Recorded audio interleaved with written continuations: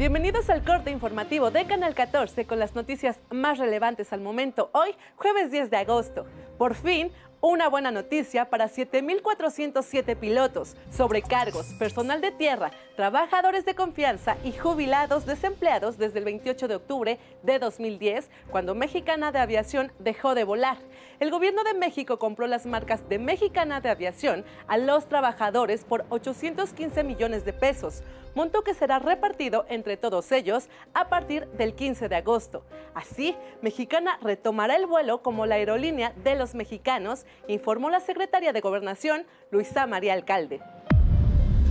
El presidente dio a conocer la carta que envió al juez Martín Adolfo Santos Pérez.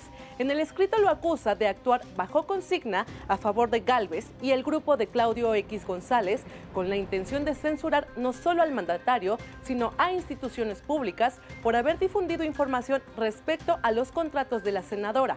Expuso que el juez estuvo detrás de la protección a delincuentes como la suspensión de la extradición del Chapo Guzmán y el desbloqueo de las cuentas del exalcalde de Benito Juárez, Cristian N y le informo que el presidente López Obrador lamentó el fallecimiento de Fernando Villavicencio, candidato presidencial de Ecuador.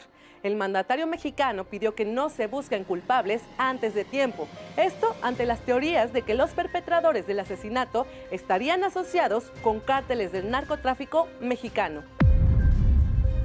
Hasta aquí el corte informativo. Estas y más noticias a las 8 de la noche por Informativo 14, el espacio en donde la información es verídica.